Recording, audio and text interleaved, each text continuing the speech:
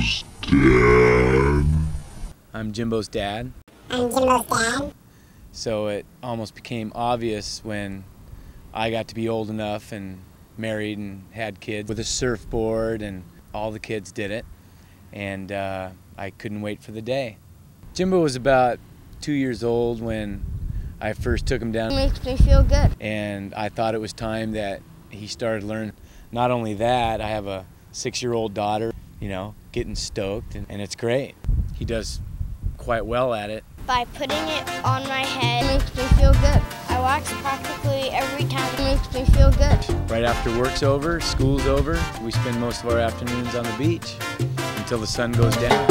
Remarkable, remarkable, remarkable, remarkable, and, and it's great. It uh, it sort of uh, tells me what my future is going to be like. My name is Jimbo. My name is Jimbo. My name is Jimbo. My name is Jimbo. My name is Jimbo. My name is Jimbo. My name is Jimbo. My name is Jimbo.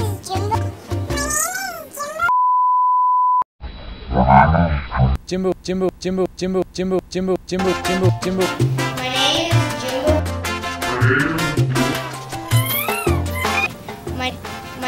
My, my, my, my, my, my, my, my, my, my, my, my, my, my, my, my. might might